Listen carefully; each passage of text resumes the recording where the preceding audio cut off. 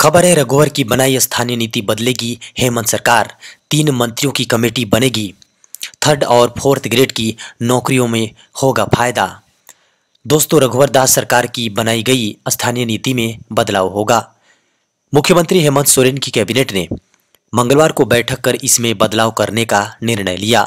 स्थानीयता को परिभाषित परिभाषित करने के लिए मंत्रियों की तीन सदस्यीय कैबिनेट सब कमेटी बनेगी। मंत्रियों के नाम तय करने के लिए मुख्यमंत्री को अधिकृत किया गया। नाम पर मुहर लगते ही सब कमेटी के सदस्य स्थानीय नीति की परिभाषा के लिए काम शुरू कर देंगे। मालूम हो कि राज्य में लागू स्थानीय नीति रघुवर दास सरकार ने 18 अप्रैल 2016 को लागू की थी। इसमें 1985 से राज्य में रहने वालों को स्थानीय माना गया है। इसमें थर्ड ग्रेड फोर्थ ग्रेड की नौकरियों में प्राथमिकता और कई स्थानों उनके लिए पूरी तरह से रिज़र्व रखने की बात थी। दो मार्च को राज्य सरकार ने विधानसभा में विधायक विनोद सिंह के एक सवाल के जवाब में कहा था कि स्थानीय नीति में सुधार का कोई औचित्य नहीं है। उल्लेखनीय है कि झामुमो ने अपने चुनाव घोषणा पत्र में कहा था कि जहाँ तक आवश्यकता होगी, वर्तमान स्थानीय नीति में बदलाव किया जाएगा। जनता की भावना के अनुरूप नई स्थानीय नीति बनेगी। झामुमो कांग्रेस और राजद गठबंधन सरकार बनने के बाद झामुमो सुप्रीमो शिबू सोरेन ने 15 जनवरी को कहा था कि स्थानीय नीति के लिए कट ऑफ़ डेट उन्नीस ही किया जाना चाहिए। खबर है, रघुवर सरकार ने जिस कंपनी को दिया काम, उसकी होगी जाँच। दोस्तों, झारखंड विधानसभा के बजट सत्र में बुधवार को कार्यवाही के दौरान एक बार फिर भाजपा सदस्यों ने हंगामा किया और वेल में आकर नारेबाजी की।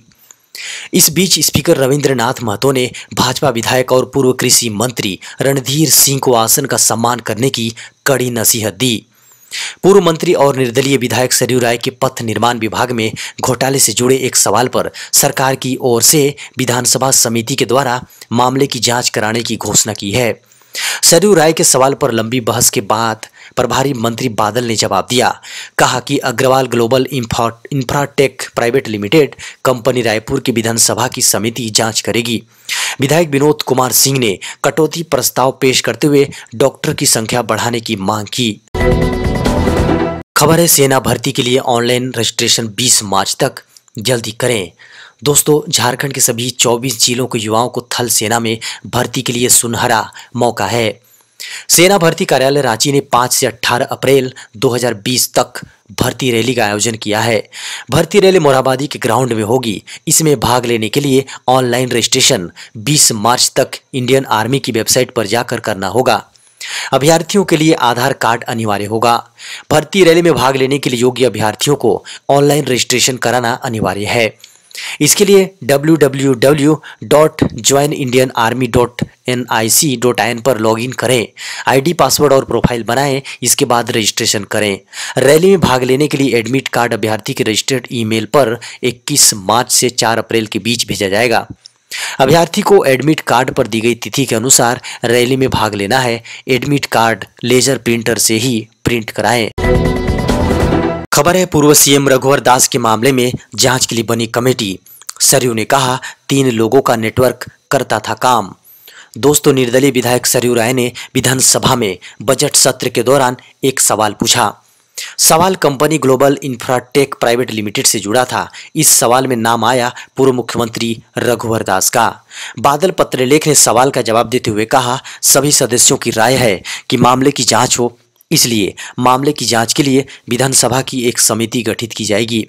विधायक प्रदीप यादव ने सवाल का ज़िक्र करते हुए विधानसभा में कहा, पूर्व मुख्यमंत्री रघुवर दास का इस पूरे मामले से रिश्ता है, इसकी जाँच होनी चाहिए। दोस्तों, विधानसभा के बजट सत्र में सरयू राय ने पथ निर्माण विभाग से संबंधित एक सवाल पूछा था, हंटरगंज पांडेपुर प्रतापपुर पथ के चौड़ीकरण का काम Global Infratech Private Limited company को दिया था, जबकि इस कंपनी को 13 जनवरी 2017 को इंडियन कंपनी रजिस्ट्रेशन एक्ट के तहत इस कंपनी को पंजीकृत होने का कार्य अनुभव ही नहीं है।